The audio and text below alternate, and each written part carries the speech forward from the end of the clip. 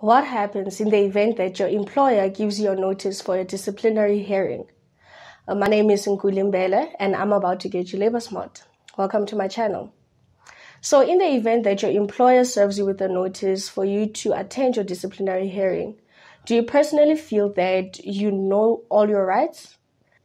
So, in the event that your employer gives you a notice, um, there are certain steps that you might have to take in order for you to actually be on the good side of this disciplinary hearing. Um, there are two instances, or maybe three, where you might be in the line where you get this notice for a disciplinary hearing. First and foremost, it might be due to your conduct. Um, this will simply mean that you are in breach of your employment contract and then you have to be disciplined for your misconduct. Secondly, um, it will be due to your capability to perform your duties. This will give your employer the chance to criticize your capabilities to perform your duties effortlessly and effectively in the workplace. Um, so, I want you guys to be fully aware of the reasons why you might be invited to a disciplinary hearing. Um, once you've gotten this disciplinary hearing, it is important for you to realize or to look out for what is stipulated in this notice.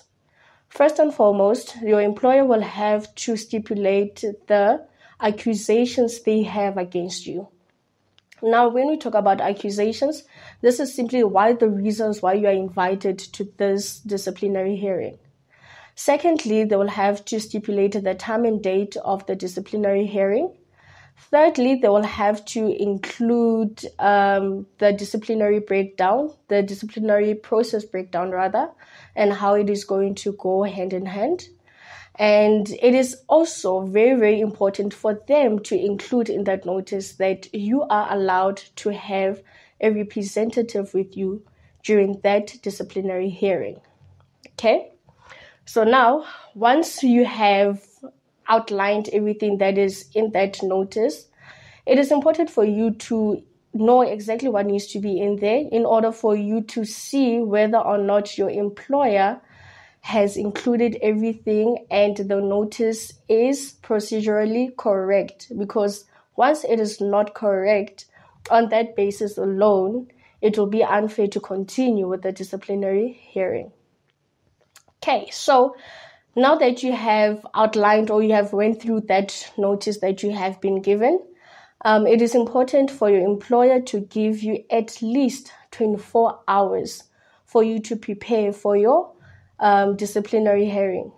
If it happens that you feel that 24 hours is not sufficient for you to get all the evidence that you need to plead your case, you are entitled to ask for a reschedule.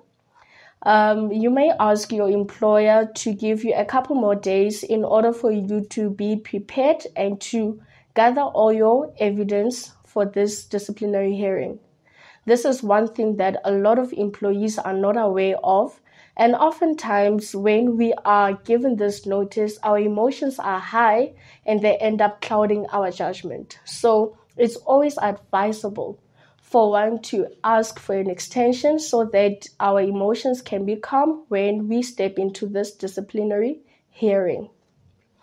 Secondly, once now you are seated in this disciplinary hearing, um, you are going to be given the opportunity to state your case. And when you are now stating your case, the time that you have used to prepare, um, this is where you gather your information. And during this process or during this session, this is the time where you are also capable of asking your employer questions. So it's important for you to really, really go home and prepare not only your evidence, but also the questions that might help you in this instance. So once that is done, you present your evidence and given the opportunity, the person that is there to represent you may also contribute. Now you have you might have two people who might be your representative, right? If it happens that you are part of a trade union, remember, good people, that you pay these people on a monthly basis. So it is important for you to use your union rep. It is advisable for you to use your union rep because they have training in this regard and they can assist you with anything that you might not even know. Um, if it happens that you are not part of a trade union, it is advisable for you to ask one of your colleagues um, good people, just to be honest, sometimes our colleagues are the ones that are sabotaging us in the workplace. So I advise that you be very, very careful of the person you choose to come and represent you. Let that person be someone who can fully understand your situation and who has good intentions for you as an individual.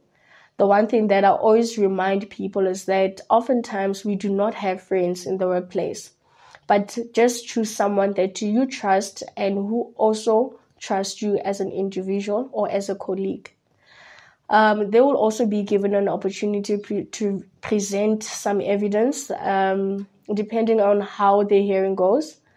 Um, remember that also, too many times we want to record conversations um, because of the POPI Act, we cannot do that without the consent of the next person. So bear in mind that if ever you think you have evidence that you have recorded without the next person's consent, it will not hold during this disciplinary hearing. Once you have presented your evidence and your employer has also presented theirs, um, first they will do that and then you will present yours. But once that is done, um, your employer will write the verdict in writing.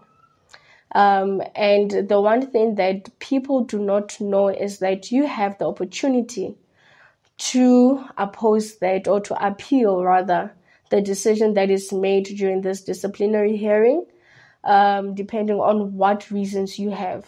Good people, it is very, very important for us to know our rights, especially when we step into a disciplinary hearing. I advise that you go through your contract, you go through your collective agreement you have with your employer.